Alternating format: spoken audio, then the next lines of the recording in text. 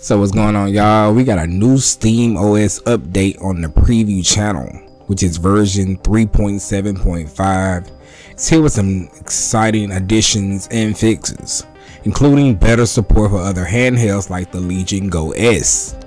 Now we finna go ahead and break it down in this video.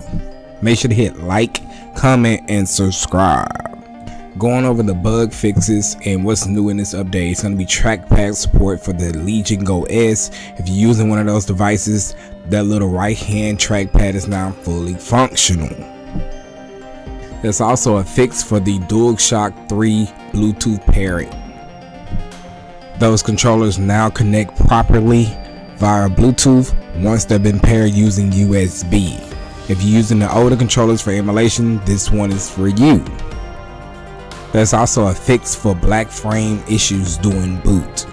A regression in the earlier 3.7 builds caused a few black frames between the boot logo and animation. That's now patched.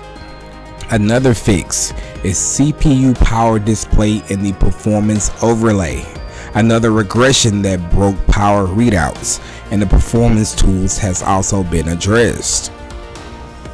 Now, of course, getting this update is easy. All you have to do is go to the settings system tab on your Steam Deck. Just make sure the update channel is set to preview and you'll be able to download version 3.7.5 right away.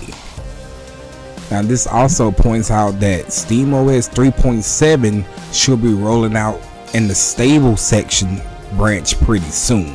So likely like within the next month or two.